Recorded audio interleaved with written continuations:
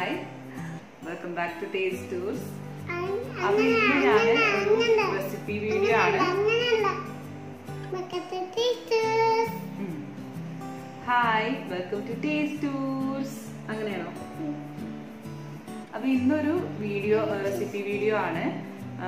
അത് ഇപ്പൊ എല്ലാവരും ചെയ്തുകൊണ്ടിരിക്കുന്ന ഒരു ഡയറ്റ് ആണ്. കീറ്റോ ഡയറ്റ് അഥവാ എൽ സി എച്ച് എഫ് അപ്പോൾ അതിൽ അതിൽ ആ, കഴിക്കാൻ പറ്റിയ ഒരു ബിരിയാണിയാണ് കാണിക്കുന്നത്. ഗോപി കൊണ്ടുള്ള ബിരിയാണി ഗോപിയും മട്ടനും വെച്ചുള്ള ബിരിയാണിയാണ് കാണിക്കുന്നത്. അപ്പോൾ എല്ലാവർക്കും ഇപ്പോൾ നല്ല റിസൾട്ട് കിട്ടുന്നുണ്ട്. ഈ സി എച്ച് എഫ് ഡയറ്റ് ചെയ്തിട്ട് എല്ലാവർക്കും നല്ല പോസിറ്റീവായിട്ടുള്ള റിസൾട്ട് തന്നെയാണ് കിട്ടുന്നത്. അപ്പോൾ ഷുഗർ പേഷ്യൻസിനാണെങ്കിൽ ഷുഗറിന് വേണ്ട ടാബ്ലറ്റ് കഴിക്കേണ്ടി വരുന്നില്ല. അതുപോലെ കൊളസ്ട്രോൾ ഉള്ളവർക്കാണെങ്കിൽ കൊളസ്ട്രോൾ നല്ലോണം ലോ ആവുന്നുണ്ട്. മെഡിസിൻ ഒന്നും എടുക്കാതെ തന്നെ ലോ ആവുന്നുണ്ട്. അതുപോലെ പ്രഷർ ആണെങ്കിലും പിന്നെ അങ്ങനത്തെ കുറെ കാര്യങ്ങളിൽ നല്ല പോസിറ്റീവ് റിസൾട്ടാണ് ഇതുവരെ കേട്ട് വരുന്നത്. അപ്പോൾ ഇവിടെ ഹസ്ബൻഡും ഇവിടെ ഹസ്ബൻഡും L C H F diet ഇപ്പോൾ ചെയ്തുകൊണ്ടിരിക്കുകയാണ്. ഇപ്പോൾ ഒരാഴ്ചയായിട്ടുള്ളൂ. അപ്പൊ ഞാൻ ഒരു ദിവസം ഉണ്ടാക്കിയ ഒരു മട്ടൻ ബിരിയാണിയാണ് ഇന്ന് ഞാൻ കാണിക്കുന്നത്. അപ്പൊ നമുക്ക് അത് എങ്ങനെയാണ് ഉണ്ടാക്കുന്നത് നോക്കാം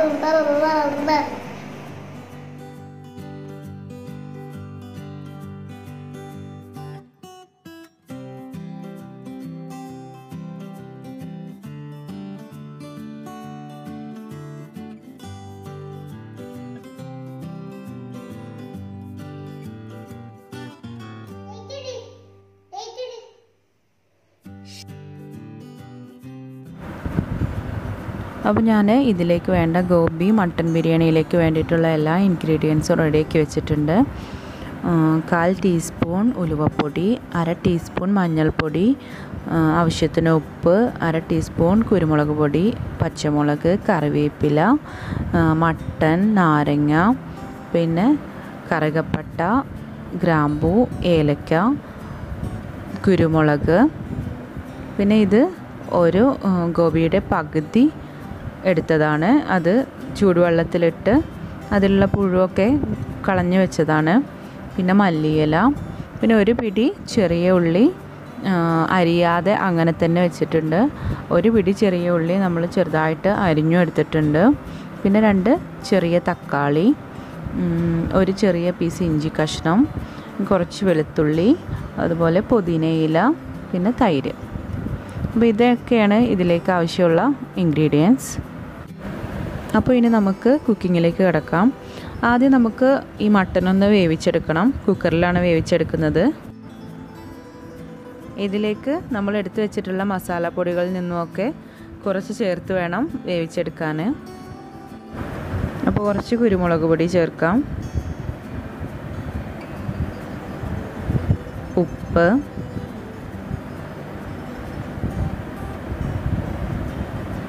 മഞ്ഞൾപ്പൊടി.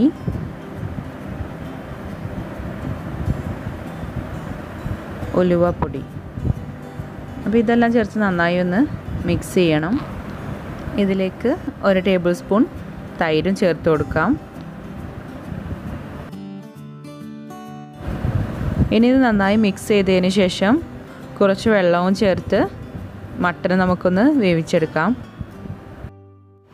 വെള്ളം ചേർക്കുന്നത് നമുക്ക് ഇതിന്റെ സ്റ്റോക്ക് ആവശ്യമുണ്ട്. അപ്പം അതിന് വേണ്ടിയിട്ടാണ് കുറച്ച് വെള്ളം ചേർക്കുന്നത്.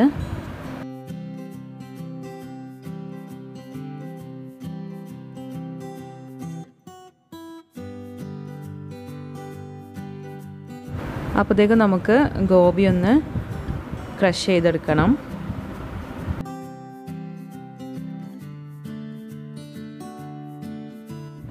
അപ്പോൾ ഗോപി ക്രഷ് ചെയ്തെടുത്തു.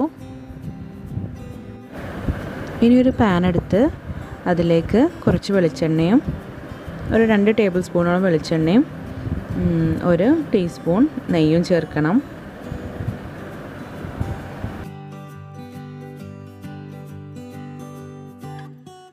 ഇനി ഇതിലേക്ക് ഒരു ചെറിയ കഷ്ണം പട്ട രണ്ട് ഏലക്ക മൂന്ന് ഗ്രാമ്പൂ പിന്നെ കുറച്ച് കുരുമുളക്. ഇതൊന്ന് നമുക്ക് വറുത്തെടുക്കാം.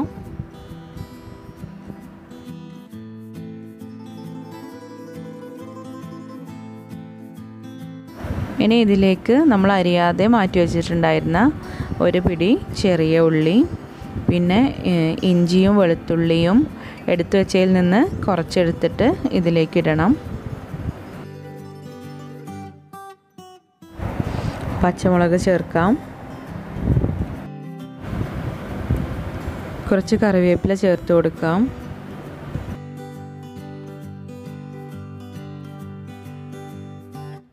കുറച്ച് മല്ലിയില കുറച്ച് പുതിനയില ഇവയെല്ലാം ചേർത്ത് ഇതൊന്ന് കളർ ചേഞ്ച് ആവുന്നവരെ ഒന്ന് വറുത്തെടുക്കാം.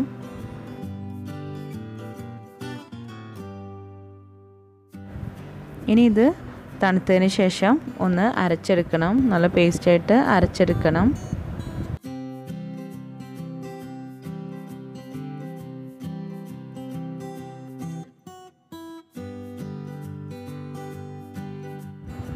ഇനി സെയിം പാന് അതിലെ എണ്ണയോടുകൂടി ഒന്ന് ചൂടാക്കുക. ഇതിലേക്ക് നമ്മൾ അരിഞ്ഞു വെച്ചിട്ടുള്ള ഒരു പിടി വെളുത്തുള്ളിയിൽ നിന്നും പകുതി എടു എടുക്കണം. ചെറിയുള്ളി ഏകദേശം വഴന്നു വന്നിട്ടുണ്ട്. ഇനി ഇതിലേക്ക് നമുക്ക് തക്കാളി ചെറുതായിട്ട് അരിഞ്ഞ് ചേർത്ത് കൊടുക്കാം.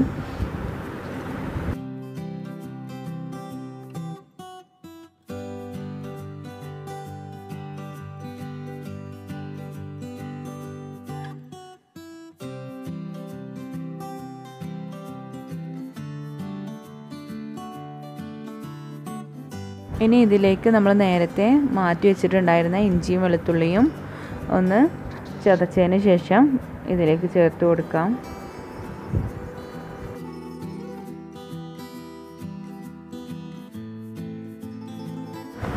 ഇനി ഇതിലേക്ക് ഒരു തണ്ട് കറിവേപ്പില ചേർക്കാം.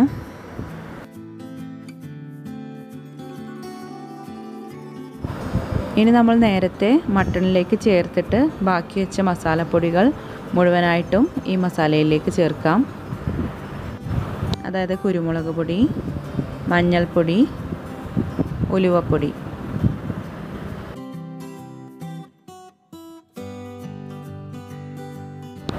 ഇനി ഇതെല്ലാം നന്നായി ഒന്ന് മിക്സ് ചെയ്യാം. ഇനി ഇതിലേക്ക് കുറച്ച് മല്ലിയിലയും അതുപോലെ കുറച്ച് പുതിനയിലയും ചേർക്കാം.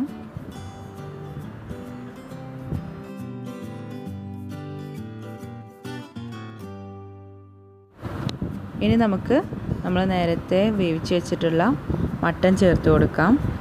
സ്റ്റോക്ക് മാറ്റിയിട്ട് വേണം ചേർത്ത് കൊടുക്കാൻ.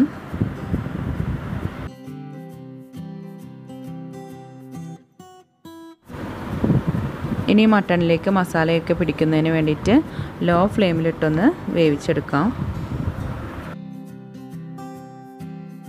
ഇനി ഇതിലേക്ക് ഒരു ടേബിൾ സ്പൂൺ തൈര് ചേർക്കാം.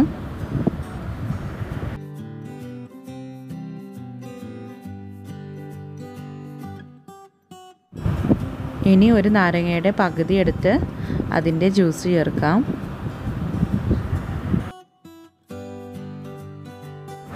അടുത്തതായി നമ്മൾ നേരത്തെ അരച്ചു വെച്ചിട്ടുള്ള അരപ്പ് ചേർത്ത് കൊടുക്കുകയാണ്.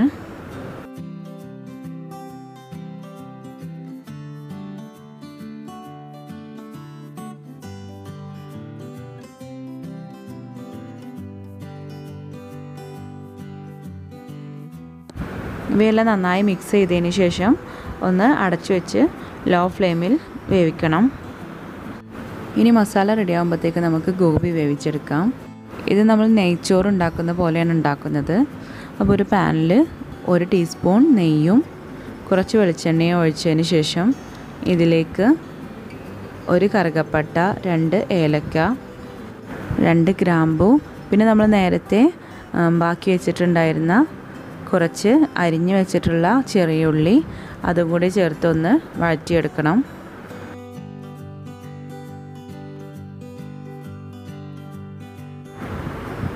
ഉള്ളിയൊക്കെ കളർ ചേഞ്ച് ആയിട്ടുണ്ട്.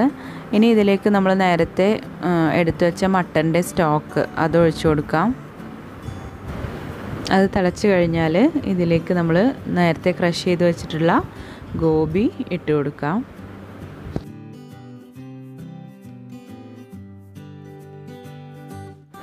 ആവശ്യത്തിന് ഉപ്പും ചേർത്ത് നന്നായി ഇളക്കി ഒന്ന് അടച്ചു വെച്ച് വേവിക്കാം.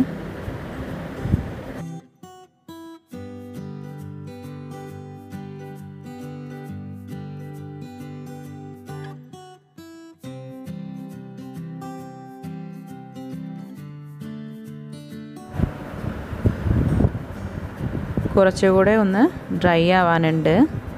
അപ്പോൾ നമുക്ക് ഇതൊന്ന് അടച്ചു വെക്കാതെ തുറന്ന് വെച്ച് ഇതൊന്ന് വറ്റിച്ചെടുക്കാം.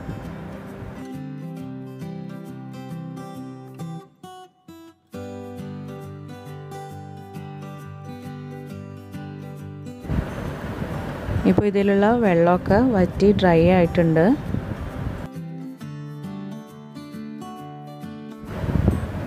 മസാലയും റെഡി ആയിട്ടുണ്ട്.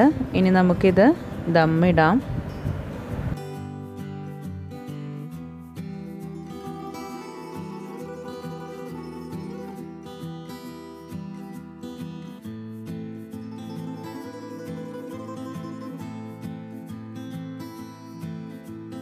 ഇനി ഇത് ലോ ഫ്ലെയിമിൽ ഒരു രണ്ട് മിനിറ്റൊക്കെ ഒന്ന് ആവി കയറ്റിയതിന് ശേഷം നമുക്ക് സ്റ്റൗ ഓഫ് ചെയ്യാം.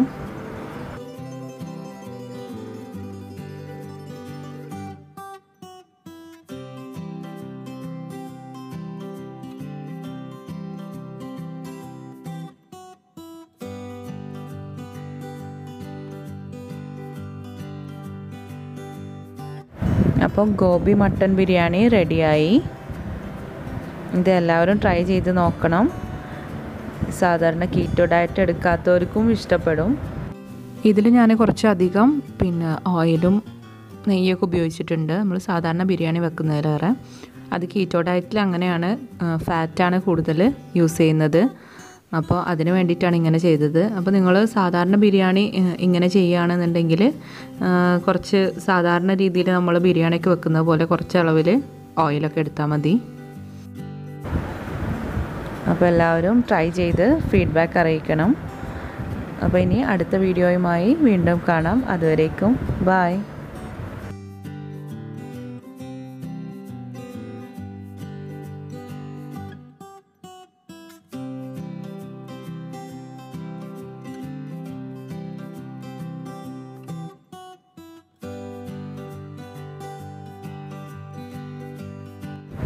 അപ്പോൾ നിങ്ങൾ ആദ്യമായിട്ടാണ് വീഡിയോ കാണുന്നതെങ്കിൽ ദയവായി സബ്സ്ക്രൈബ് ചെയ്യണം. പുതിയ വീഡിയോസിന്റെ നോട്ടിഫിക്കേഷൻ ലഭിക്കുന്നതിന് വേണ്ടി ബെല്ലൈക്കൺ പ്രസ് ചെയ്യണം. താങ്ക്